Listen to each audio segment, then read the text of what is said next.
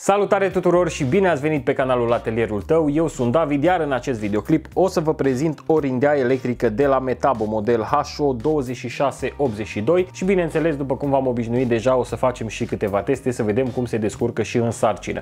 Dar înainte de asta, haideți să vedem care este conținutul pachetului de livrare, ce caracteristici tehnice are, după care trecem și la partea de test. O să vină livrată în această cutie din carton, împreună cu mai multe accesorii. În primul și în primul rând avem manualele de utilizare pe care vă încurajez să le citiți. O să găsiți informații despre utilizare, caracteristici tehnice detaliate și așa mai departe. Deci ar fi indicat să le păstrăm. După care o să primim, bineînțeles, rindeaua, baza principală. Tot în set o să găsim și două accesorii pentru rumegușul produs de această rindea, pentru uh, talaj îi putem spune. Avem un sac în cazul în care vrem să adunăm totul în acest sac.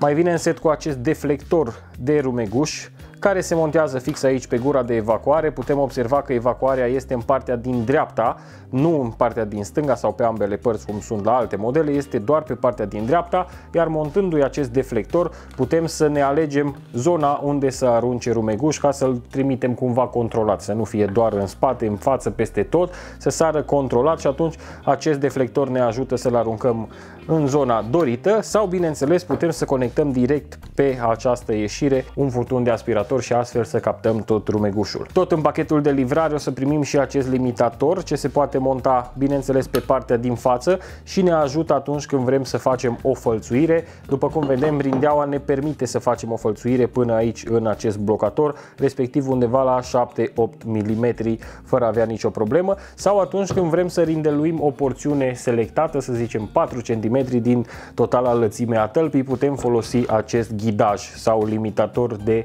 rindeluire, putem spune. Și tot în pachetul de livrare o să primim aici o cheie care ne ajută să desfacem cuțitele și un ghidaj pe care îl folosim de asemenea când montăm cuțitele. Acesta o să ne ajute ca să le reglăm la fix.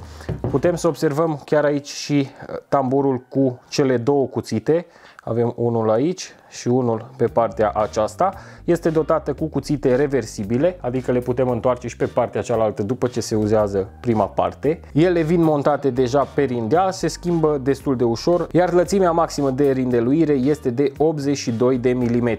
Se poate observa chiar aici pe talpă că avem și acest V care ne ajută să facem un șanfren pe muchie în funcție de muchia pe care vrem să o șanfrenăm. Bineînțeles că este important să selectăm și adâncimea. Dacă vrem ca șanfrenul să fie mai lat, selectăm o adâncime mai mare de rindeluire. Dacă vrem să fie mai îngust, să luăm doar puțin colțul, atunci selectăm o adâncime de rindeluire mai mică. Tot aici în partea din față putem observa mânerul secundar pe care îl putem ține cu mâna stângă sau cu mâna dreaptă în funcție de mâna principală, care are și rolul de a stabili adâncimea. Practic este un buton, o rolă de care rotim și stabilim adâncimea de rindeluire. Această rindea este capabilă să rindeluiască până la o adâncime maximă de 2,6 mm și este foarte, foarte ușor de setat, adică din 0,1 în 0,1 și tot așa, adică este destul de precisă. În partea din față avem șurubul care blochează ghidajul pe care vi l-am arătat mai devreme, se introduce fie pe partea dreaptă, fie pe partea stângă, după care îl strângem cu acest șurub. În partea stângă a rindelei avem carcasa care acoperă cureaua de transmisie, foarte bine protejat aici, se poate observa foarte puțin chiar aici.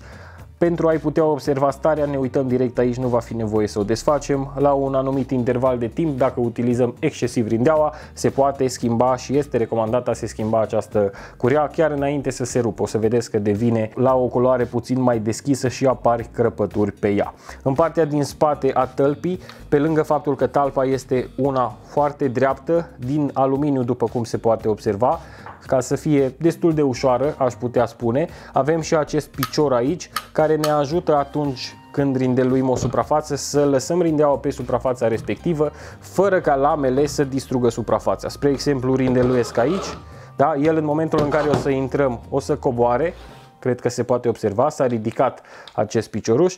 După ce am ridicat rindeaua de pe suprafață, el culisează, iar în momentul în care o ridicăm de pe, de pe suprafața rindeluită, o să se creeze sub talp o distanță, astfel încât cuțitele să nu atingă materialul. Rindeaua arată foarte bine, mânerul este unul confortabil, cu elemente siliconate pentru a avea o aderență mai bună la mână, avem elemente siliconate și sub mâner, un mâner destul de mare, care are și un buton de blocare aici. Butonul de blocare este doar pe partea stângă, ceea ce mă trimite cu gândul că este făcută pentru o utilizare mai confortabilă cu mâna dreaptă. Cu mâna stângă ar fi puțin ciudat să apăs pe butonul acesta de deblocare, de siguranță, dar cu mâna dreaptă pot să-l apăs foarte ușor cu degetul mare, iar cu degetul arătător să apăs butonul de pornire. Lungimea cablului de alimentare este de 4 metri. La capitolul specificații tehnice, rindeaua stă foarte bine. Este dotată cu un motor de 620 de W ce dezvoltă până la 17.000 de rotații pe minut. Având cele două cuțite și cele 17.000 de rotații pe minut, această rindea se poate folosi cu ușurință chiar și la lucrări de finețe,